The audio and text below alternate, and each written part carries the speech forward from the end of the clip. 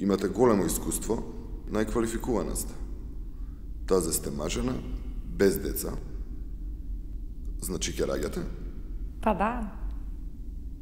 Фала, ама нас ни треба некој што не планира деца наскоро. Проверете го Волтеров, изгледа кај краде. Пријем.